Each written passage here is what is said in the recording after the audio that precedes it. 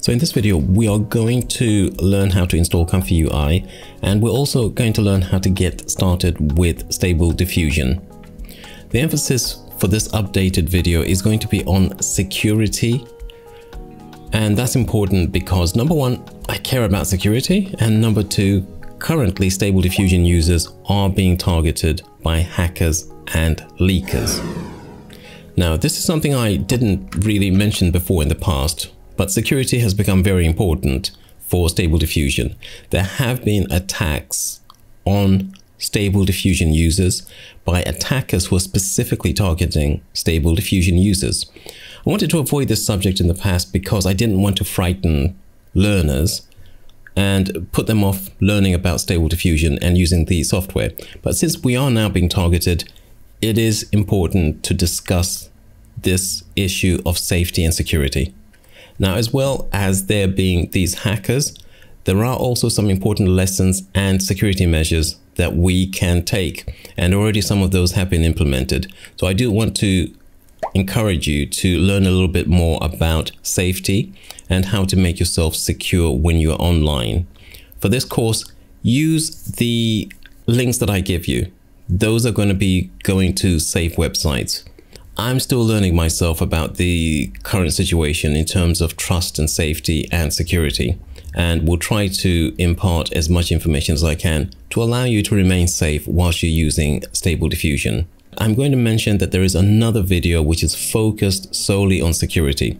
There will be a link to that in the resources and I would really encourage you to watch that one because that's going to really up your skills in terms of uh, making sure that you're safe and you're alert all the time. Now we're going to install a bunch of software. The first one is going to be Git for Windows and you can download it at the website that I'm going to link to.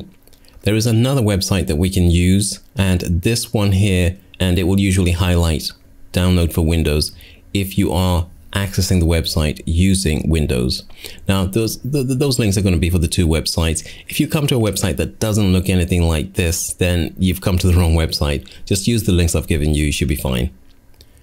Now, once this is installed, you should be able to use GitHub and we're going to be using GitHub a lot and this will add functionality that does not exist in Windows, but that functionality will allow us to do things with GitHub that we could not do otherwise. Next, we want to go to Comfy UI, the project on GitHub, and we want to download and start uh, installing that.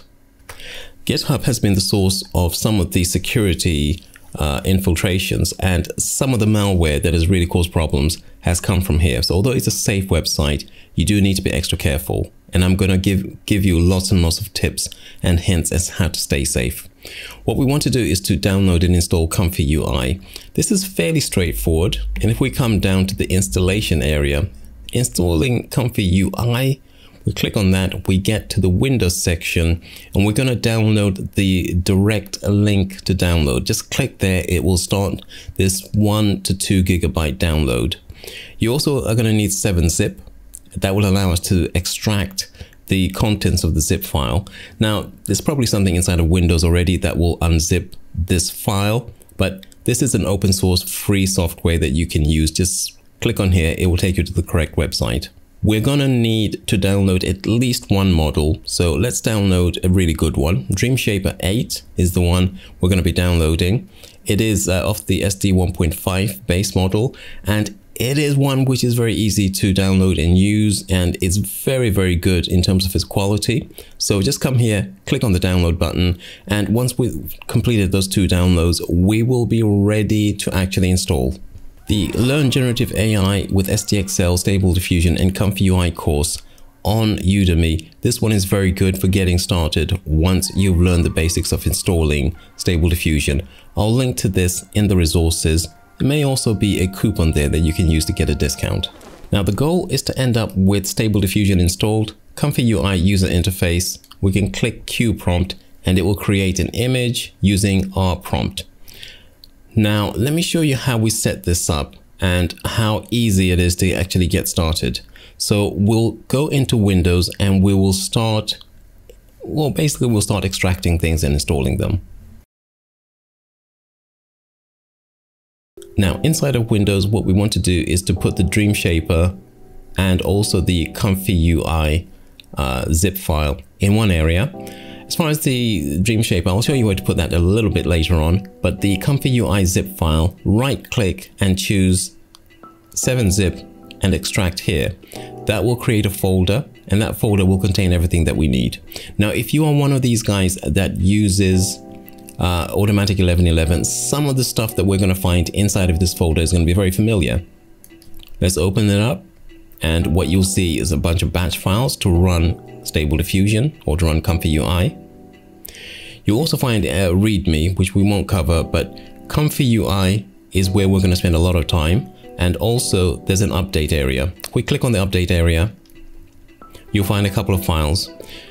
These files are very important for updating Comfy UI especially when something goes wrong. So if something is not working properly inside of Comfy UI, you can use this guy here to update Comfy UI.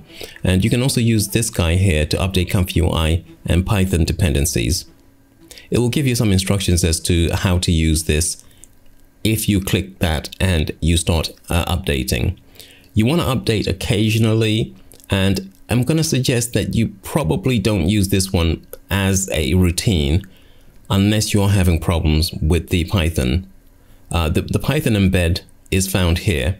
Now the Python embed means that we've got Python installed here. This looks like Python 3.11 and with Python in, embedded inside of Comfy UI, we don't need to install uh, Python within Windows. We need to take the safe tensor, the Dreamshaper file, and to put it inside of the models area inside of Comfy UI copy the Dreamshaper uh, file, go into the Comfy UI Windows Portable folder, Comfy UI, and we go to models. Now, if you've used Automatic 1111, a lot of this stuff will seem semi-familiar. We've got custom nodes, which are basically where we put our extensions. We've got models and we've got outputs where the images that we create are output. Then we go to models and inside of models, we go to checkpoints and there I've already pasted Dreamshaper 8. And as soon as that's pasted there, we can go back up again to the top folder. That allows us to now double click on the NVIDIA GPU.bat. This will give us access to Comfy UI and Stable Diffusion. So we'll double click on that and start running that. Now that's going to run in the background. Now I've already run this one time already. So I'm going to stop that and basically show you what the results are. Now, when we run that, we find that we get this kind of output and you'll get a URL. That URL is where you're going to find uh, Stable Diffusion. Just copy this address here, or alternatively, it's going to open up automatically anyway. And most of the time, it will just open up in the correct address in your default browser, or you can just paste that address in. Notice that we've already got Dreamshaper 8 chosen. It will choose that automatically. And then we've got, you can choose whatever prompt you want and then just hit Queue prompt and that will start the process. It's very quick if you are using the NVIDIA GPU and just keep, keep on keeping on and making different versions. So you're very happy with the results that you're getting try out different prompts. That's basically how we set it up. If you haven't got an NVIDIA GPU, you can use the run CPU.bat. I don't find that at all fast. That's usually going to be really slow. Now, there's a lot more to learn. We've got to learn about the Comfy UI Manager, installing extensions. Security. Security is another important feature we're going to be taking a look at.